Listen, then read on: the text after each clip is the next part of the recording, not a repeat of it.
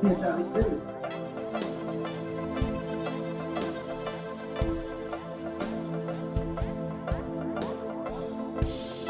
Qui est arrivé. Qui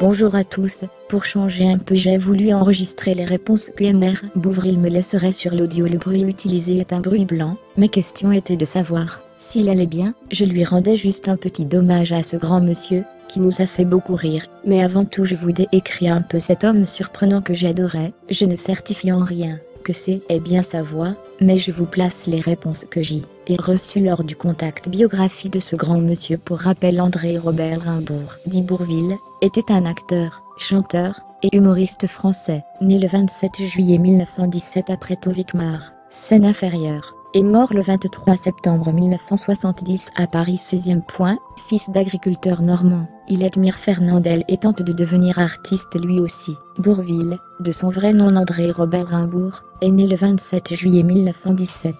Après Tovikmar en Seine-Maritime. Il passe son enfance dans le village de Bourville, et, comme son cousin Lucien Rimbourg exerce déjà le métier d'acteur, il prend ce nom, comme nom de scène, pour éviter la confusion. Après un apprentissage de boulanger, il décide de partir à Paris pour tenter sa chance comme chanteur, surtout dans des radios crochets au début. Il devient connu grâce à sa chanson Les crayons qu'il interprète dans le film La ferme du pendu, 1945, de Jean Dréville. Son jeu comique et ses rôles de grand naïf le font adorer des Français, surtout dans les films où il donne la réplique à Louis de Funès. Ces films sont tous devenus de grands classiques. La traversée de Paris, 1956, le Cornio, 1964, et La Grande Vadrouille, 1966, de Gérard Houry. Il joue aussi aux côtés de Jean Marais dans deux films en costume, Le Bossu, 1959, et Le Capitaine, 1960. On le retrouve avec Fernandel dans l'excellente comédie La cuisine au beurre, 1963, où il campe un chef cuisinier parisien obligé de travailler avec un cuisinier méridional ayant des habitudes très différentes mais Bourville n'accepte pas que les rôles comiques. Il incarne notamment un abject manipulateur face à Michel Morgan, dans Le Miroir à deux faces, 1958. On le redécouvre en 1969 dans L'Arbre de Noël, où il vient en aide à un enfant atteint de leucémie qui aime les loups. Après le tournage du film Le Cercle Rouge, 1970, avec Yves Montand et Alain Delon, il termine le film Le Mur de l'Atlantique, 1970, de Marcel Camus. Ces deux films sortent en salle quelques semaines après sa mort survenue à 53 ans, le 23 septembre 1970 à Paris.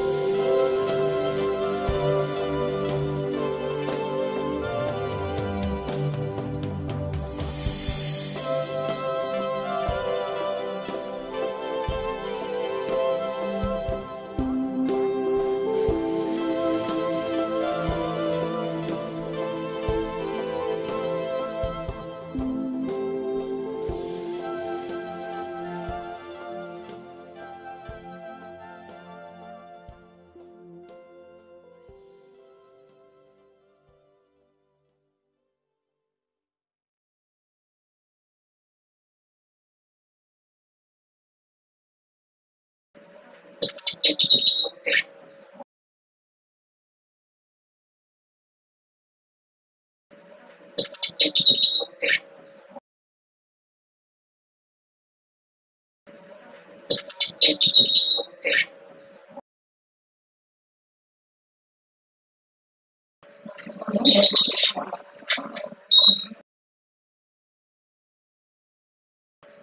y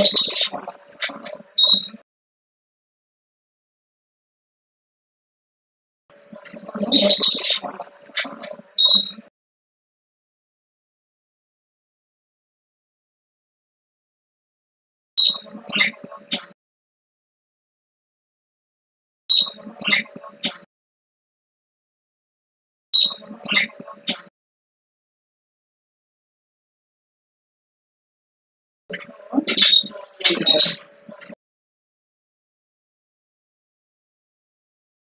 certainement quand même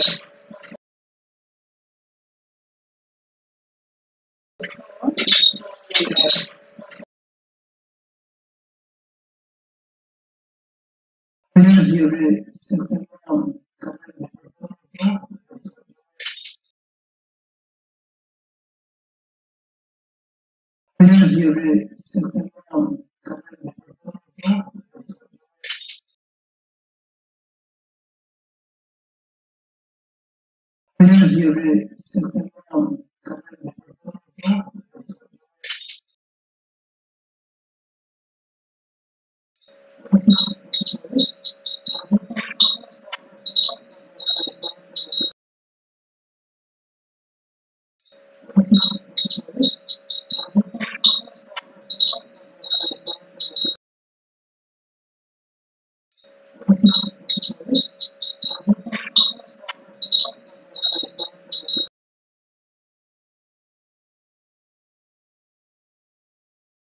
Par pédagogie, la musique nous a donné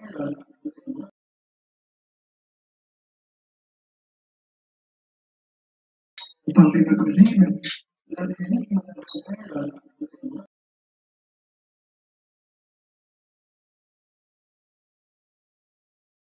par pédagogie, la musique nous a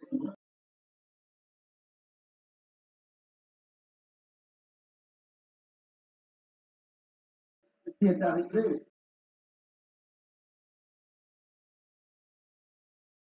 Ce qui est arrivé,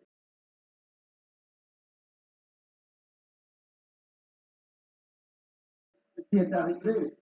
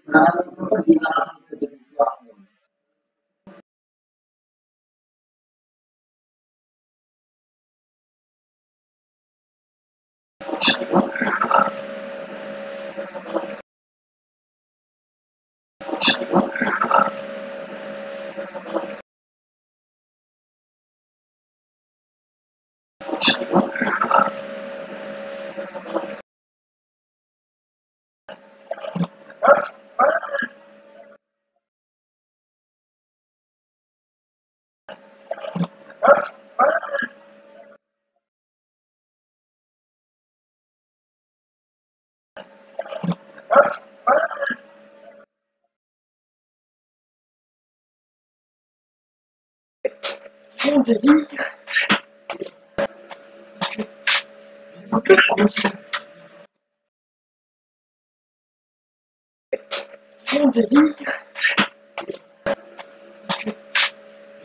Thank you.